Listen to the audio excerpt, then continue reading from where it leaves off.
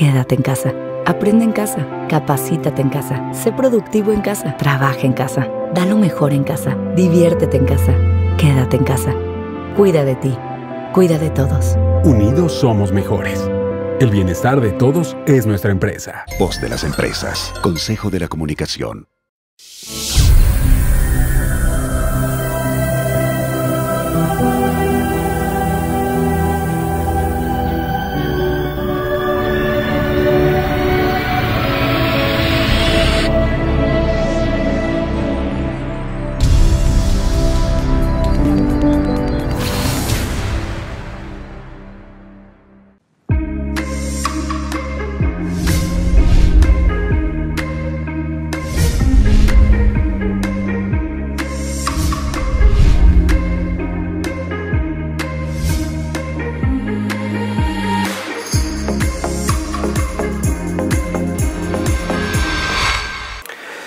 Tal? Muy buenos días. Mi nombre es Alberto Ábrego, docente de la asignatura de español en la Escuela Secundaria Técnica número 6, Sor Juana Inés de la Cruz, a cuya comunidad mandamos un saludo.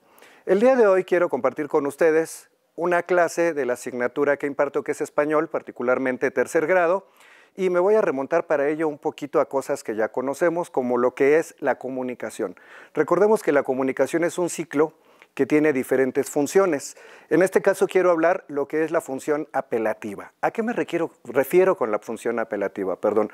Cuando voy a intentar a través del acto comunicativo de persuadir a alguien de que haga algo, ya sea a través de lo que está leyendo, de lo que está escuchando, de lo que está viendo. Quiere decir que yo puedo hablar de la comunicación verbal, oral, escrita o visual.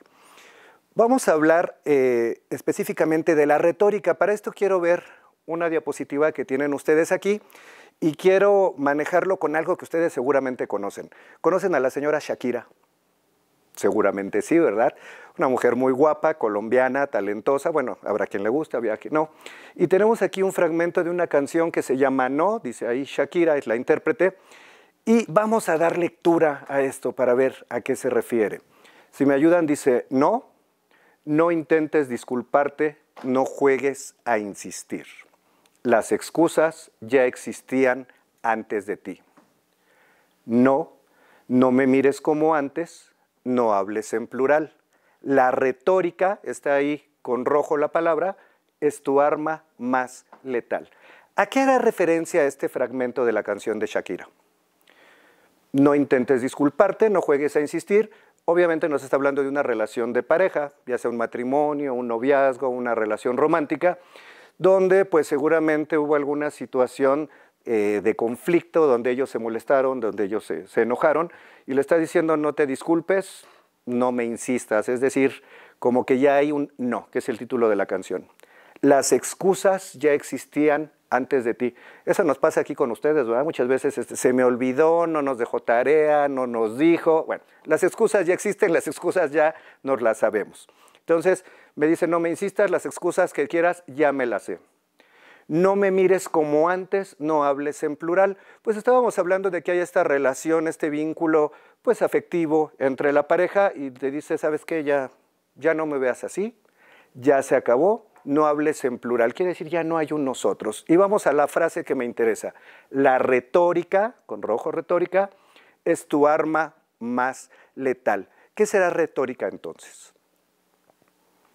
Comentábamos de la función apelativa o persuasiva del lenguaje. ¿Qué será retórica?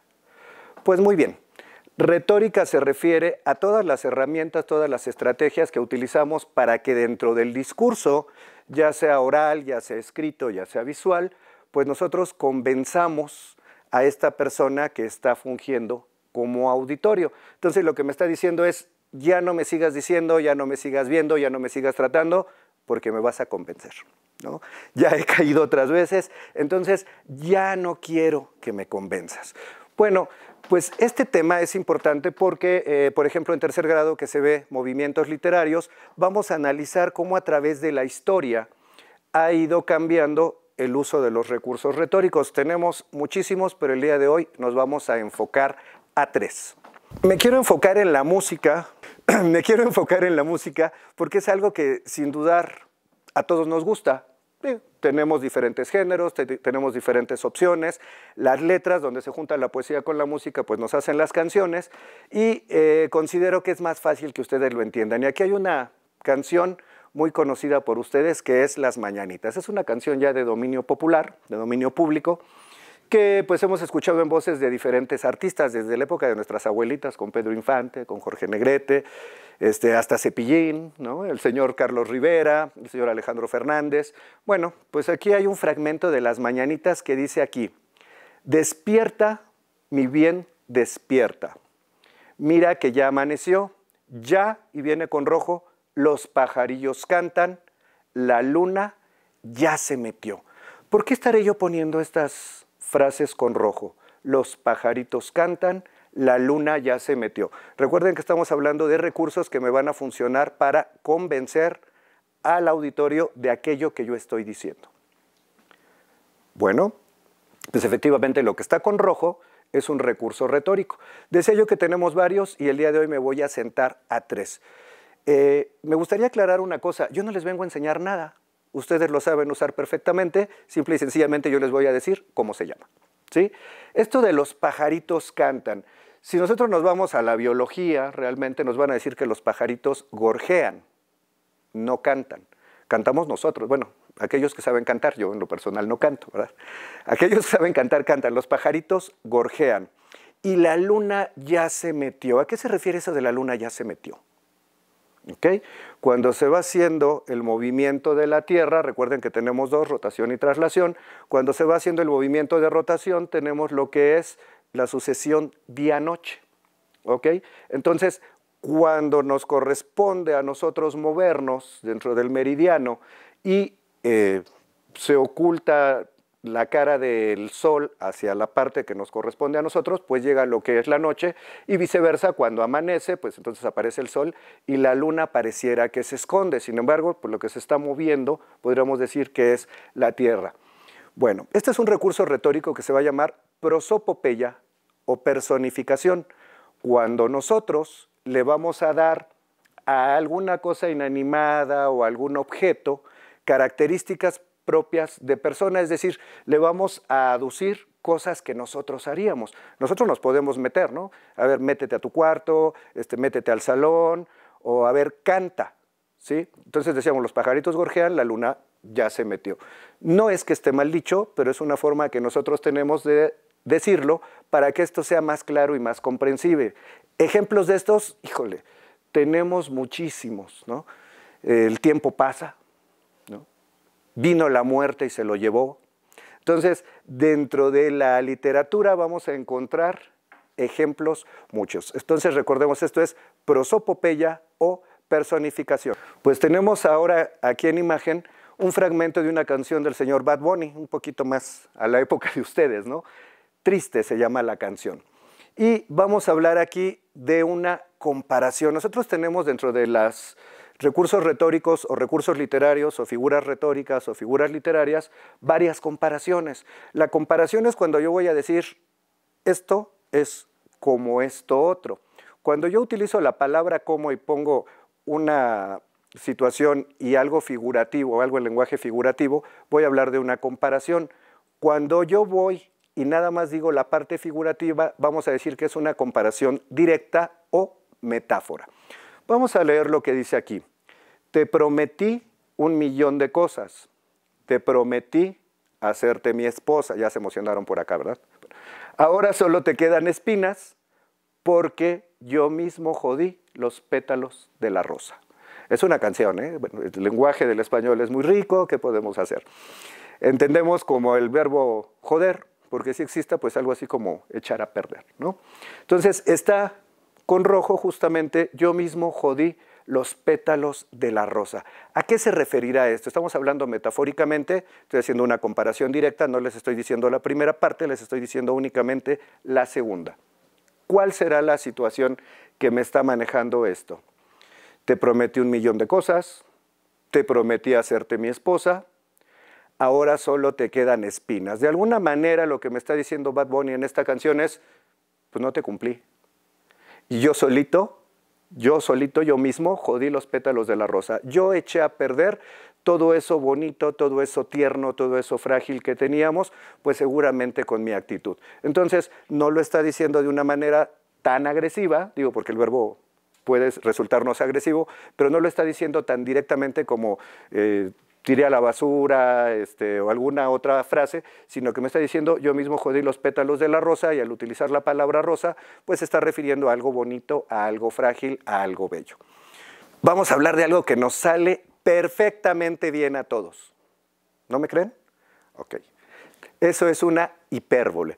Hiper, eh, yo creo que todos conocemos la palabra hiper, le hemos oído hipermercado, ¿no? estoy hiper feliz. Entonces, hiper es algo muy grande, muy, muy grande, y nos va a hablar de una exageración.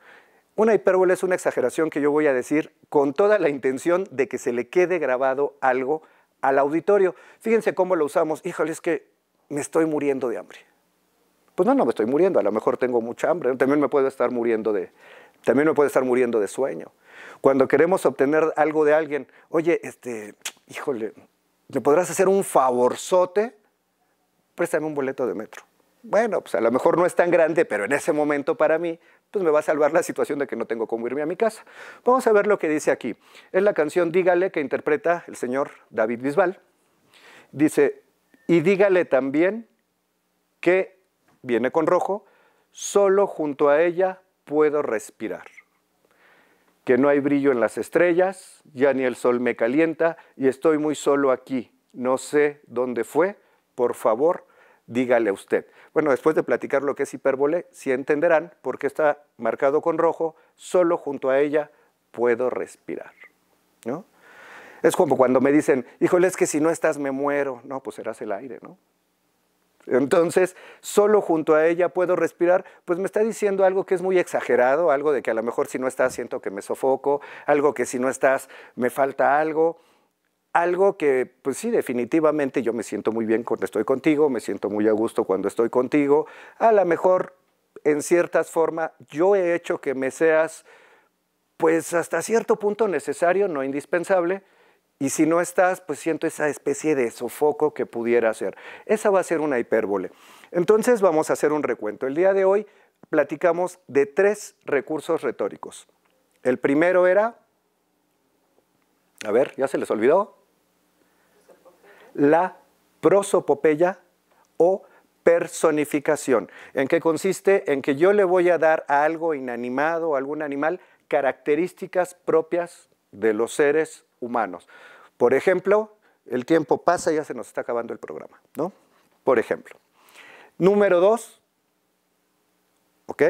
La metáfora, también conocida como comparación directa. Yo voy a hacer alusión a algo que tenga que ver con el lenguaje figurativo y que me lleve a entender a qué me refería. En la poesía, ¿cómo lo usamos? Cuando dicen eh, las, nieves que, que adornaban su cabeza. ¿A qué me refiero? Pues a que la persona seguramente tenía canas, ¿no? O las esmeraldas en su rostro, pues seguramente sería alguien que tenía ojos color verde esmeralda. Entonces, al hacer alusión, pues me va a llevar a lo demás. Y tercero, vimos lo que es una hipérbole, que quedamos que es una exageración, que yo voy a decir con toda la intención de que le quede claro a la gente qué es lo que quiero. En casa lo usamos mucho los maestros también. A ver, niño, te he dicho cientos de veces que no te debes de sentar así. Maestro, pero si me lo dijo una vez, exacto. Es una exageración para que tú me entiendas que no quiero que te sientes así, este, porque, pues no sé, no se ve muy agradable para todos los compañeros que están viendo. Bueno, pues espero que les quede claro. Ahora, estos ejercicios que estamos viendo en las canciones los podemos encontrar también en las imágenes, cuando vemos un anuncio televisivo, por ejemplo, para lo que es el proyecto de análisis publicitario, o en la poesía a través del tiempo. Pues espero que les haya gustado. ¿Cuál es la invitación ahora?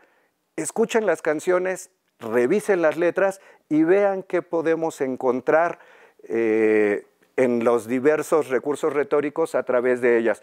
¿Qué género? Cualquiera ya sea música para bailar, música únicamente para escuchar, música de protesta, música regional. En todos lados vamos a encontrar los recursos retóricos. ¿Por qué? Porque nos sirven para enriquecer nuestro lenguaje y para que el auditorio entienda de qué es de lo que estamos hablando. Muchas gracias. Maestro, gracias por ver este video. Te recuerdo que lo que utilizamos el día de hoy primero fue incorporar a los alumnos con conocimientos previos, como fue lo que es las funciones de la comunicación. Después se buscó el acercarnos a ellos a través de cosas que le gustan, en este caso la música. Nos fuimos desde temas conocidos como las mañanitas, como música de Bad Bunny o de David Bisbal. ¿Por qué? Porque pues hay gustos diferentes y el buscar hacer las cosas un poquito sencillas, un poquito divertidas, para después poder entrar a lo que es el análisis de textos literarios, particularmente en el tema de movimientos literarios de tercer grado, o bien mencionábamos que esto se puede vincular con lo que es análisis publicitario y encontrar estos mismos recursos retóricos en las imágenes. Hasta la próxima.